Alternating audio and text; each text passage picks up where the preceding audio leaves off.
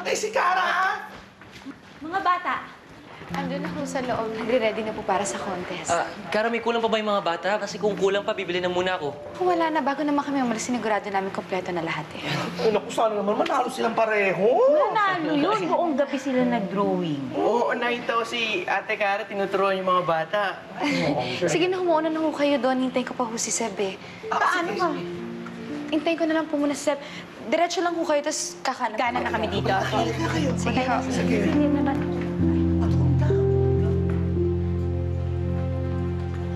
Kara!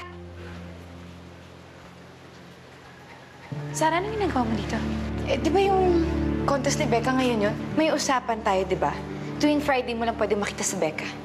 Eh, tinawagan kasi ako ng bata. Siyempre, pupuntahan ko yun. Sara, kahit na. Sana naman respetuhin mo naman yung pinag-usapan natin. Ako nga nagko-compromise ako dito. Nangako lang kasi ako dun sa bata.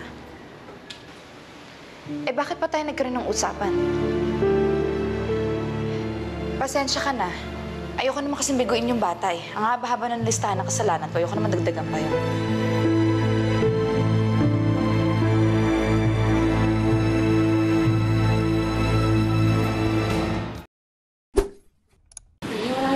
Mga kapamilya, mag-subscribe na sa ABS-CBN Entertainment YouTube channel. Para maging updated sa Doble Kara. Yes, and for more videos, just click the I button right in this area.